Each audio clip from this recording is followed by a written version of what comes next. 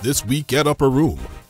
The Feet of Praise dancers are gearing up for dance training sessions. Exciting things are planned during this time of dance intensive. All who are interested in joining Feet of Praise should contact Sister Tabitha Rayford for additional information and rehearsal dates.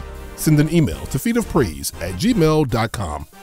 The youth department has resumed in person youth Bible study and is calling on all elementary, middle, and high school students to participate. Meet us right here at the Upper Room, Church of God in Christ, every Thursday at 7:30 p.m. The theme is The Lord is the strength of my life, and we look forward to seeing the youth department well represented in Bible study.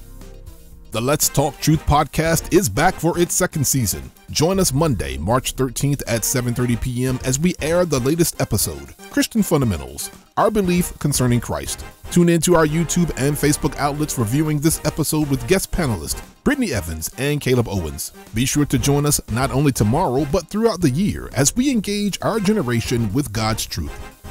Join the Upper Room Missionary Circle for Friday Night Live to be held Friday, March 17th via conference call at 7 p.m. Eastern Time. The inspirational speaker will be missionary Tabitha Rayford, and our main speaker will be evangelist Desedra Murden.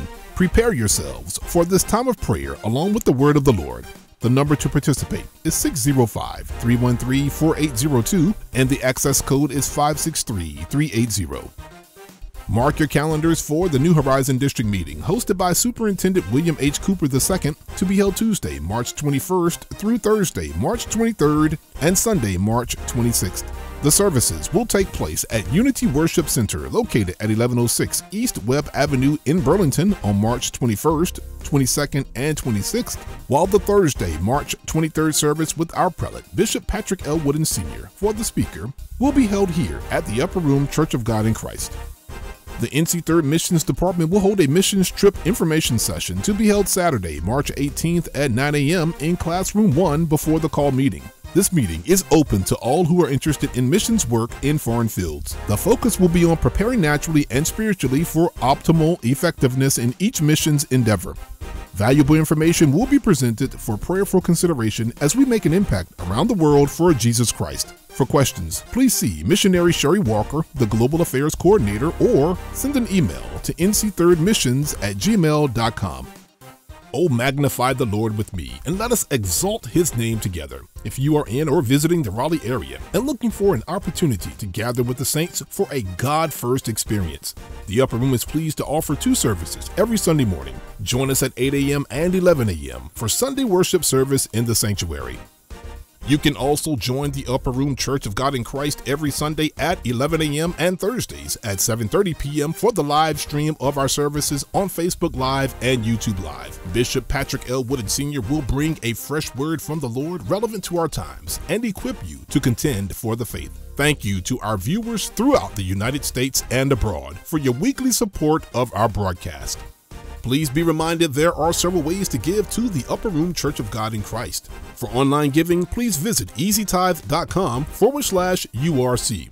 Also, please use only one email address for each Easy Tithe account so we can properly track your giving. Within Easy Tithe, you can now initiate the recur option, which allows you to select a designated amount to be automatically deducted from your account. You may also visit our website, upperroomgospel.org, and select the Giving tab. Or you can mail your gift to the Upper Room Church of God in Christ, Post Office Box 447, Garner, North Carolina 27529. As always, thank you very much for supporting the Upper Room Church of God in Christ.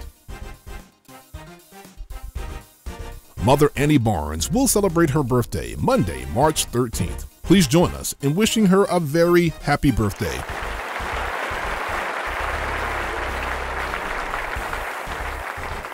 Ladies, second Tuesday night Sisters Bible Study, Strength Intensifying Your Prayer Life, is approaching fast and will begin March 14th. This experiential study will explore four critical components necessary for intensifying your prayers and moving the heart of God.